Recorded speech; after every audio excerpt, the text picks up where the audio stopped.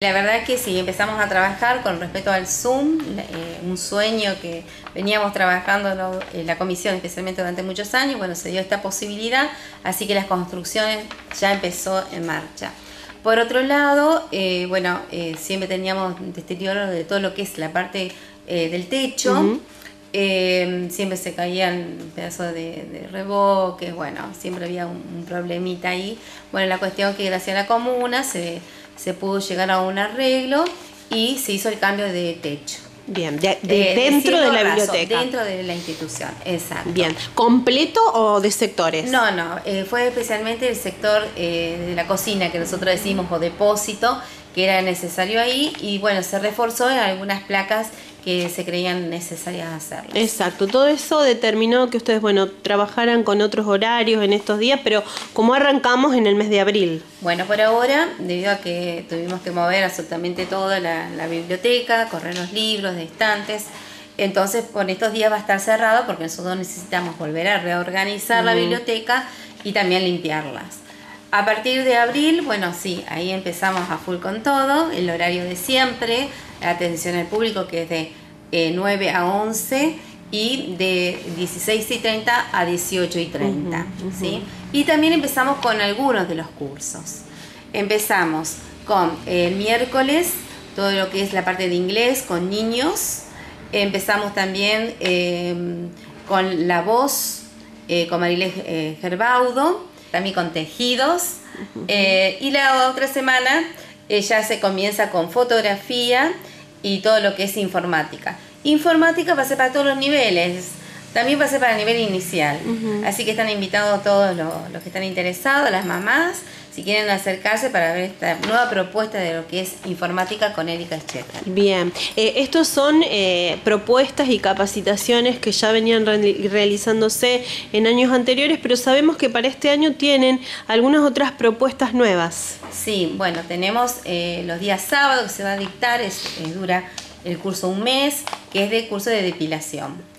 Bueno, lo da Eliana Galicio, que es recibida del Instituto de Ana Fischer y por supuesto está avalado por nuestra institución. ¿Tienen pensado incorporar otras, eh, otros cursos, otras propuestas? Eh, en estos momentos, bueno, tenemos todo lo que es eh, lo que se ha firmado el convenio con la Universidad Siglo XXI, que bueno, eso después Georgina Gallay con más detalle le va a poder explicar a ustedes. Pero bueno, por ahora es como hay más propuestas pero como que queremos empezar y organizarnos con respecto a los horarios, eh, porque el espacio es chico. Entonces lo importante es que no se, se molesten, digamos, un curso con el otro entre aulas y aulas. Entonces, bueno, por ahora es como que esto es lo que estamos ofreciendo. Eh, las otras propuestas lo estamos analizando y lo estamos viendo. Bien, la propuesta de eh, la Universidad Siglo XXI para San Carlos Sud y la zona de poder traer ¿no? algunas carreras y que puedan, eh, la gente tenga la facilidad de poder hacerlo en, en este lugar. Exacto. Sobre todo ese es el beneficio. Ese es el beneficio y también que si bien la universidad es independiente, pero eh, es importante también porque para nosotros como biblioteca eh, va a llegar otra gente que por ahí no conoce nuestra institución y bueno, ¿no? Y ese es nuestro trabajo también de promocionar todo lo que se puede hacer dentro de una biblioteca. También quería comentar que está el otro curso de habilidades eh, sociales y gestión emocional que lo, lo está llevando a cabo eh, la mm, psicóloga Anabela Poncio. Bueno, ese también es otro de los cursos que también eh, están y todos los interesados pueden venir a inscribirse. Eh, también pueden visitar nuestra página en internet por Facebook. también nos pueden llamar nosotros al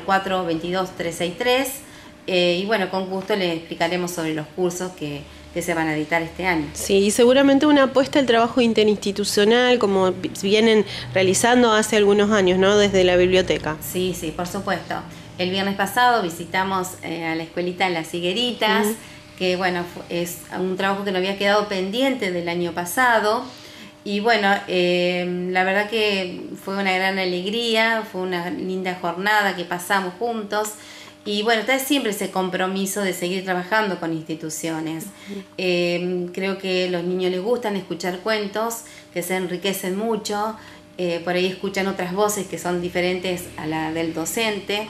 Y bueno, vamos a seguir trabajando, por supuesto, con todas las instituciones que lo deseen. Seguramente, el objetivo un poco de ir a otras instituciones como es a la escuela, eh, al ser 265, eh, es como para llevarle a los chicos ¿no? una propuesta eh, también diferente, junto a los libros de la biblioteca. Ellos habían visitado este lugar. Sí, ellos el año pasado nos vinieron a visitar, el año pasado hicimos todo un proyecto de la valija viajera, que le hemos, prestamos muchos libros que después a fin de año nos encargamos de traerlos. Eh, este año se va a hacer algo muy parecido también, pero quería resaltar algo muy lindo. Eh, tanto el año pasado como este se sumaron las mamás. Eh, preguntaron si ellas podían participar, por supuesto que sí, y la verdad que se hizo una jornada muy familiar. Y las madres muy contentas y con mucha alegría participaron, dibujaron, hicieron títeres,